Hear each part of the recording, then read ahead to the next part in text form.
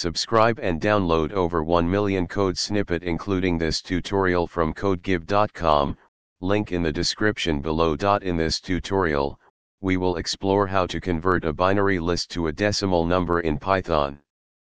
Binary representation is a base 2 numeral system, while decimal is a base 10 numeral system. Converting binary to decimal involves understanding the positional value of each bit in the binary representation. Let's go through the steps using a Python code example. Binary, the base 2 numeral system uses only 0 and 1, and each digit's place represents a power of 2.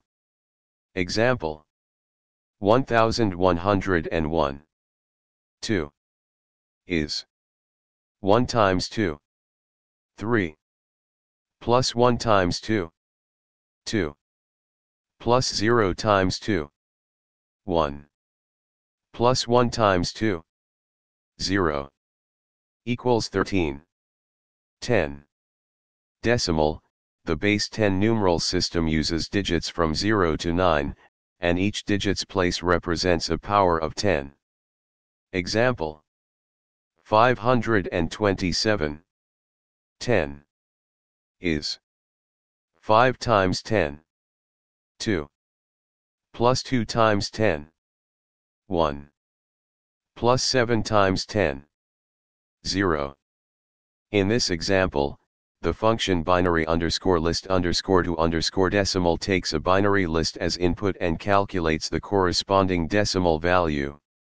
It does so by iterating through the reversed binary list, and for each bit, it multiplies the bit value by 2. i.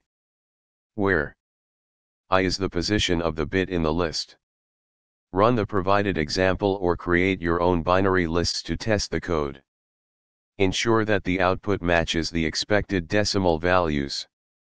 By following these steps, you can easily convert a binary list to a decimal number in Python. ChatGPT